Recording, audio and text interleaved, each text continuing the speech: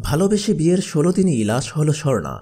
ভালোবেসে বিয়ে করেছিলেন পছন্দের মানুষ কামরুল হাসানকে। অনেক স্বপ্ন ছিল স্বামীর বাড়ি গিয়ে সংসার করবে স্বর্ণা। কিন্তু কে জানত বিয়ের ষোলো দিনের মাথায় লাশ হতে হবে স্কুল ছাত্রী স্বর্ণাকে?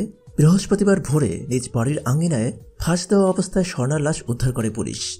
দেবিদার উপজেলার ধামতি উত্তরপাড়া এলাকায় এ ঘটনা ঘটে। তবে স্বর্ণার পরিবারের দাবি স্বর্ণা আত্মহত্যা করেনি, তাকে মেরে ফেলা হয়েছে। এ নিয়ে চলছে এলাকায় নানা গুঞ্জন। স্বর্ণা আক্তার মিম, ধামতি উত্তরপাড়ার মোহাম্মদ শামসুল হকের মেয়ে। সে বছর ধামতি হাবিবুর রহমান উচ্চ বিদ্যালয় থেকে এসএসসি পরীক্ষা দেওয়ার কথা ছিল।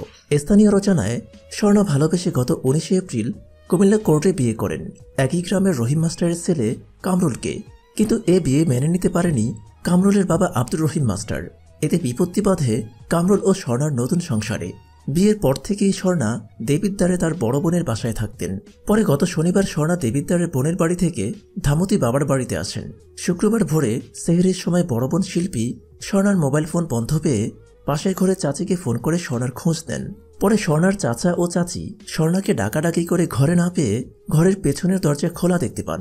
বাহিরে পুকুর পাড়ে একটি গাছের সঙ্গে স্বর্ণার ঝুলন্ত লাশ দেখতে পান। স্বামী মোহাম্মদ কামরুল হাসান বলেন, রাত বারোটায় আমি ফোনে কথা বলেছি। ভোর রাতে ফাঁস দিয়ে তার মৃত্যুর সংবাদ পেয়ে আমি ছুটে যাই। আমার স্ত্রী আত্মহত্যা করতে পারে না। তাকে কেউ হত্যা করে গাছে ঝুলিয়ে রেখেছে। আমি এই ঘটনার সুষ্ঠু তদন্ত চাই। দেবিদ্দার থানার ওসি মোহাম্মদ আরিফুর রহমান বলেন, সংবাদ পেয়ে একটি গাছ থেকে ফাঁস দেওয়া অবস্থায় স্বর্ণার লাশ উদ্ধার করে ময়নাতদন্তের জন্য কুমিল্লা মেডিকেল কলেজ হাসপাতালে প্রেরণ করা হয়েছে। নিহত স্বর্ণার পরিবারের দাবি, এটি হত্যা। তবে এটি ময়নাতদন্তের রিপোর্ট পেলেই সঠিক রহস্য জানা যাবে। সম্মানিত ভিউয়ার্স, ভিডিওটি লাইক, কমেন্ট, শেয়ার করে অন্যকে দেখার সুযোগ করে দিন। এবং পরবর্তী দেশ বিদেশে ঘটে যাওয়া সব ধরনের খবরাখবর পেতে চ্যানেলটি সাবস্ক্রাইব করে পাশে থাকা বেল আইকনটি প্রেস করে দেওয়ার অনুরোধ জানাচ্ছি। আসসালামু আলাইকুম।